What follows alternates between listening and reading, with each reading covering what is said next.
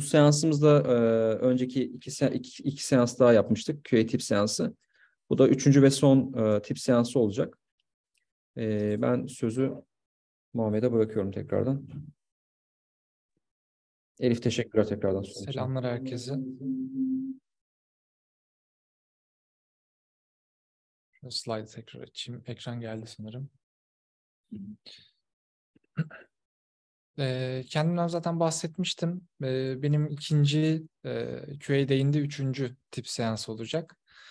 Bu sefer Appium Inspector'dan bahsedeceğiz. Oradaki locator speed'lerin nasıl tespit edildiğinden ve hangisini tercih etmekte bize faydasının nasıl faydalanacağımızdan bahsedeceğim.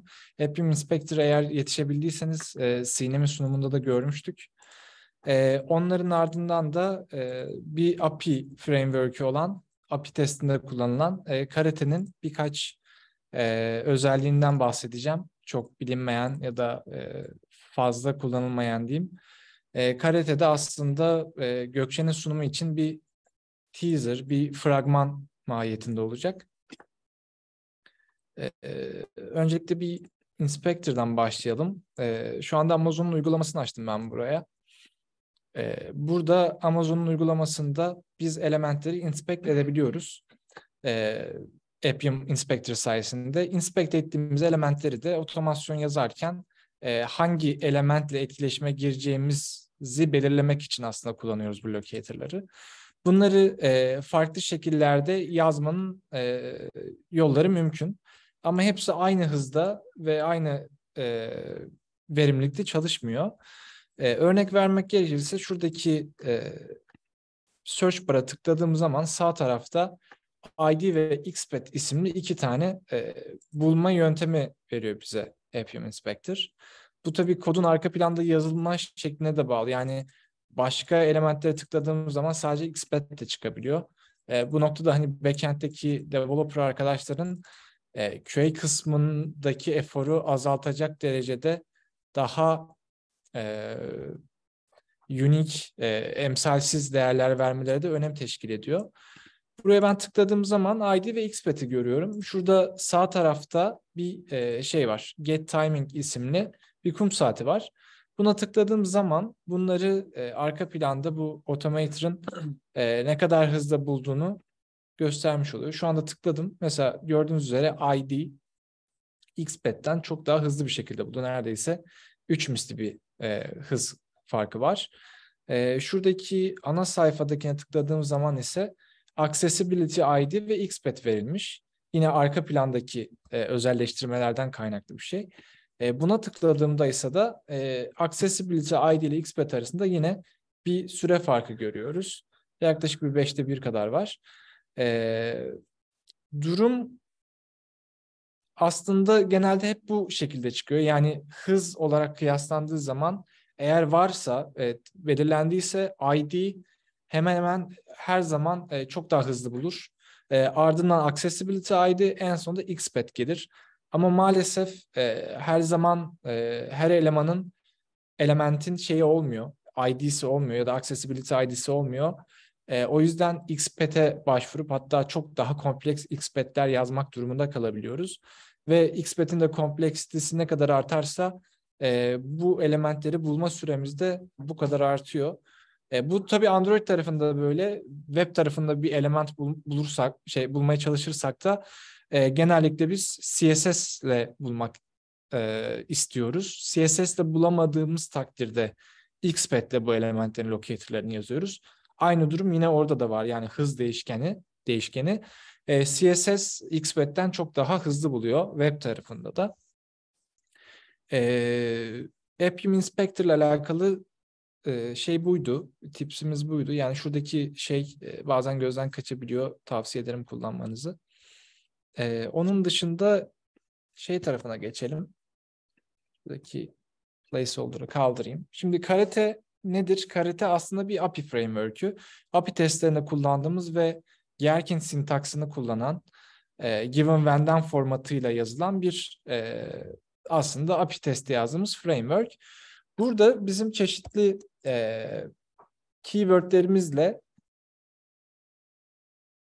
JSON objeler e, ve tablolar e, define edebiliyoruz. Burada e, Karate'nin definition için kullanılan keyword'ü def keyword'ü. Burada mesela bir tane e, JSON array tanımlam tanımlayacağımızı farz edelim. Şu şekilde başlayalım. Basit bir JSON array tanımlayalım. Mesela ne olsun? İsim olsun içerisinde. Muhammed olsun ve bu kişinin de aynı zamanda belirli bir skill seti olsun diyelim istediğimiz. Bunlar da A ve B skill setler olsun.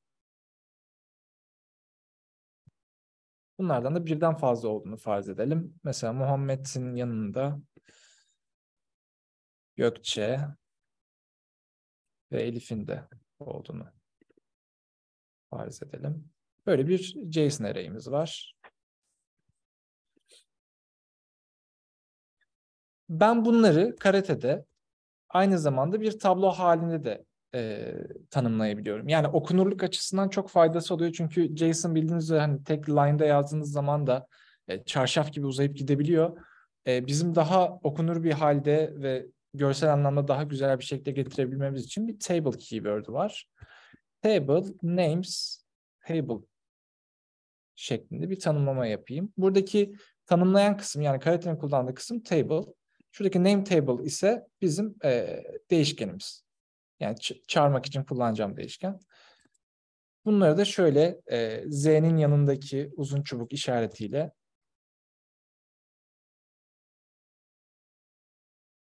tablo haline sokabiliyorum.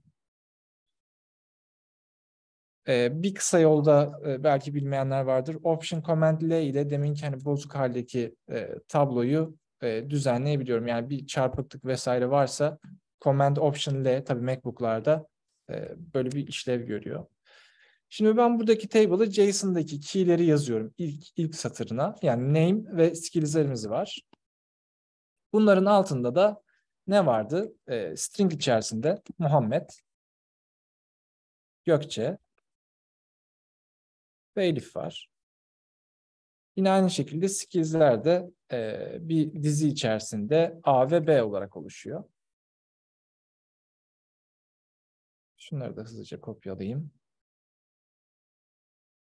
Şimdi e, demin bahsettiğim kısa yol yani şurası kaydı ama Command Option L ile yaptığım zaman bunları bir formatlıyor. E, bütün illerde bu tarz bir e, görselleştirme açısından bir refaktör e, kısa yolu oluyor. Favoridenizde hani araştırarak bulabilirsiniz. E, şimdi iki tane JSON'ımız oldu. Aslında temelde bu ikisi de aynı. Birini table şeklinde yazdım, birini normal JSON object olarak yazdım. Ben bunların aynı olduğunu yani birbirine match ettiğini bulabilmek için karitede match keyword'ünü kullanıyorum. Burada match names JSON eşittir eşittir names table dediğim zaman kodu çalıştıralım.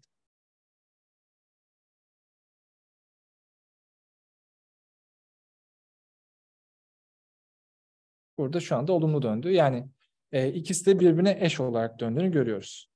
Peki, bu şimdi bir JSON array'di ve array'in içerisinde birden fazla e, nesne var. Karate'nin bize sunduğu bir başka özellik ise şuydu. Önce ondan bahsedeyim. Diyelim ki elimizde şöyle bir objemiz var. Name. Yine Muhammed. Hatta şunları direkt kopyalıyorum.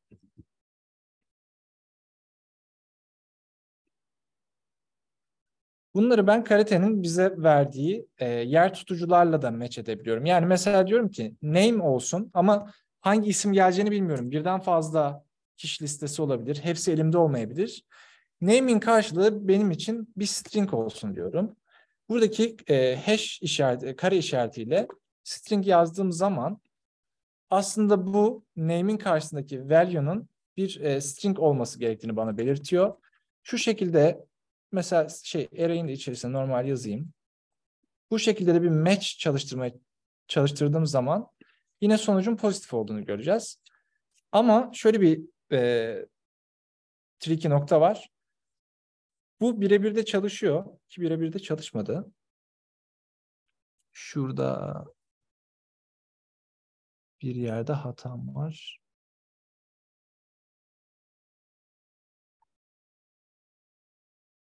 A'nın başında tırnak. A'nın başında tırnak var.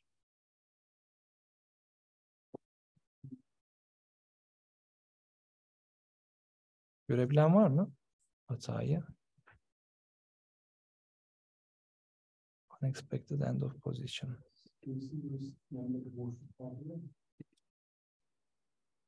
Evet orada. Finalde fark etmiyor ama fark ediyor da olabilir. Deneyeyim tekrardan.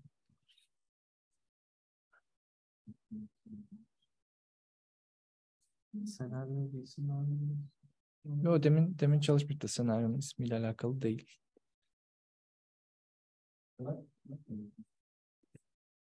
Şöyle bir deneyeyim acaba tek tırnağımı kabul ediyordu diye.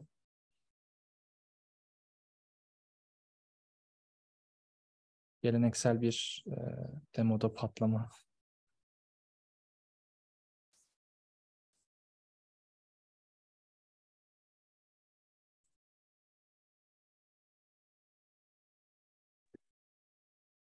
E, Muhammed aslında 5. satırda bir hata var diyor. 5. satırdaki ne e,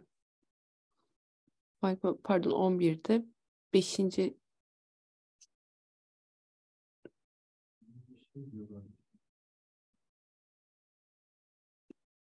Sinem sesini duyamadık. E, file position 11. satır 5'e gelsene bir. E, kaçıncı? Hmm. Şurası.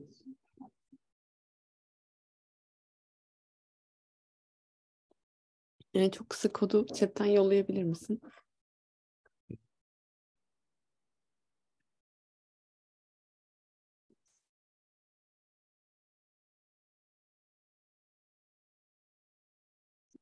Bunu bulana kadar e, şeyden bahsedeyim. E, karatede e, bu meşleri yaparken bize bir şey veriyor. Değişken dizisi veriyor. Kare yazdığımız zaman normal şartlarda çalışsaydı eğer e, buradaki e, name'in value'sunun string olduğunu e, belirtiyorduk. Bunun yanına mesela şey de olabiliyor. E, eğer sayı bekliyorsak kare number yapabiliyoruz. E, kare array ya da kare kare object gibi çeşitli placeholder'lar da var. Bunların her birinin belirli anlamı var. Aslında bu bize şeyi sağlıyor. Bir API servisinde bir request attığımızda e, bize bir response dönüyor. Biz bu response'un aslında beklediğimiz değerlerde olup olmadığını kontrol etmemiz lazım. Yani her bir bir değişken olduğu için bu değerleri statik veremiyoruz. Ee, örneğin işte bir e, online e-ticaret sitesini düşünelim. Bir ürünü e, request ettiğimizde onun değerlerinin döndüğünü farz edelim.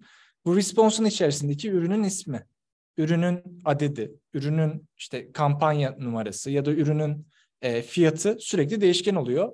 O yüzden ben bu API'deki response ve request'leri kontrol etmeye çalıştığım zaman e, benim bunları dinamik değerler şeklinde kontrol etmem lazım. Aslında tam olarak bunlar bize bu bunu sağlıyor. Yani e, eğer benim dönecek olan response'umun e, structure'ı belli ise buradaki placeholder'ları kullanarak aslında doğru değerler dönüp dönmediğini kontrol etmiş oluyordum, oluyorum. Ee, burada benim göstermek istediğim şey ise şuydu.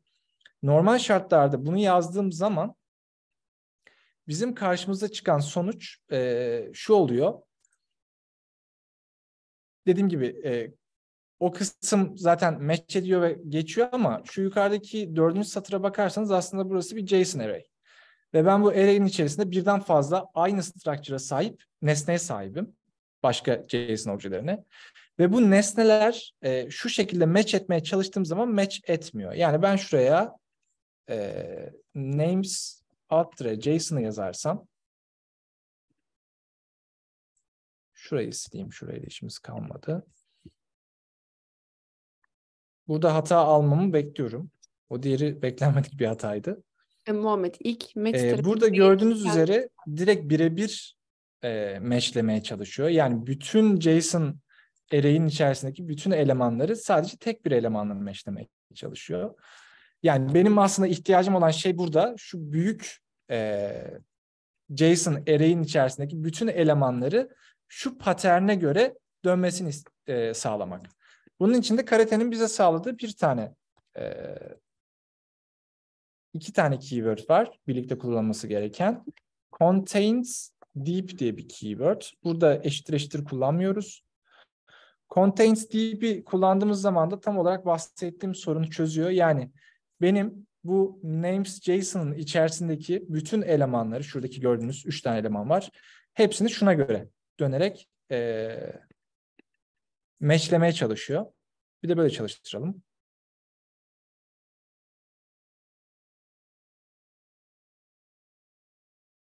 Ki burada da çalışmadı.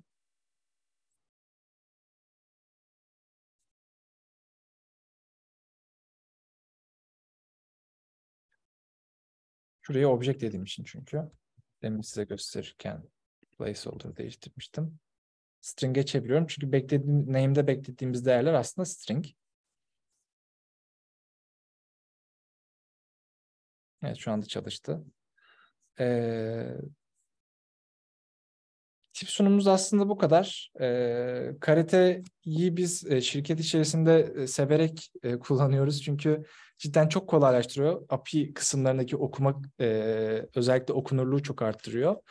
E, Gökçe e, aradan sonra e, API ile alakalı e, epey bir bilgilendirici bir e, sunum yapacak. Orası için aslında biraz da girizgah oldu diyebilirim.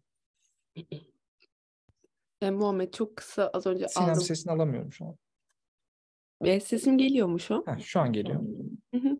Kalitenin de bazen böyle şey ufak trikleri oluyor. Case sensitive. E, parantez ilk değiş, değişken olarak tanımlayabilirsin match'ten sonra. Sen orayı direkt string parantezle yazdın ya.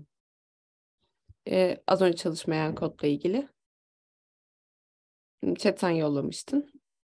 Hemen onu şimdi tekrar yapıştırıyorum. Hı hı.